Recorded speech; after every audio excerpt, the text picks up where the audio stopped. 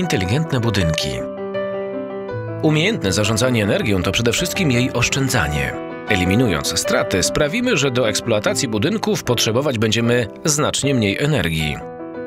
To założenie spędzało sens powiek budowniczym oraz architektom, w efekcie czego rozpoczęto pracę nad budynkami pasywnymi. Budynki te wyróżnia bardzo niskie zapotrzebowanie na energię do ogrzewania. Ciągu sezonu grzewczego do ogrzania 1 metra kwadratowego budynku potrzeba 15 kWh. To odpowiada spaleniu 1,5 litra oleju opałowego, prawie 2 metrów sześciennych gazu ziemnego, czy też 2,3 kg węgla. Dla porównania, zapotrzebowanie na ciepło dla tworzonych obecnie budynków konwencjonalnych jest ośmiokrotnie większe. Nie tylko architekci pracowali nad optymalizacją zarządzania energią.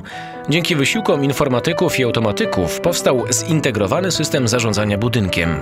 Jego celem jest efektywne sterowanie instalacjami. System między innymi inteligentnie włącza i wyłącza oświetlenie, ustawia odpowiednią temperaturę pomieszczeń, reguluje pracę systemów grzewczych czy wentylacyjnych.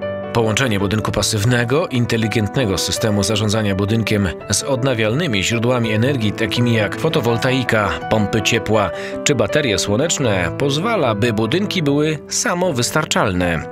Tego typu rozwiązania są już stosowane w Polsce nawet w budynkach biurowych. Przykładem takiego projektu jest Eurocentrum w Katowicach.